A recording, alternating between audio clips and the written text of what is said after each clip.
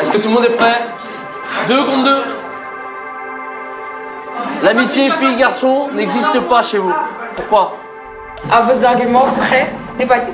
Par exemple, si c'est des homosexuels. Amitié fille-garçon. Fille-garçon, c'est c'est pas homosexuel. Une fille, un garçon. Oui, mais c'est par exemple le garçon, il est homosexuel, la fille, elle est homosexuelle. Vas-y, la fille est lesbienne, elle va pas aimer le garçon. Bah voilà, donc, Bah donc- donc ça peut être que de l'amitié. Ça, c'est un cas, là. Mais il faut pas être fermé d'esprit, il faut pas être juste hétérocentré.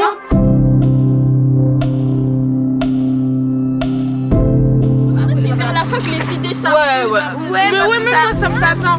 J'ai voulu participer au débat pour euh, pouvoir améliorer euh, mon langage, pouvoir mieux m'exprimer parce que moi je suis très timide. Avant moi, euh, j'avais, pour moi, c'est moi qui avais raison tout le temps. J'écoutais pas en fait quand on me parlait.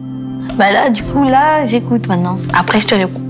Au débat, on nous laisse notre parole, on nous laisse parler. Et pourtant, c'est pas dangereux, il y a pas des mitraillettes qui sortent de notre bouche.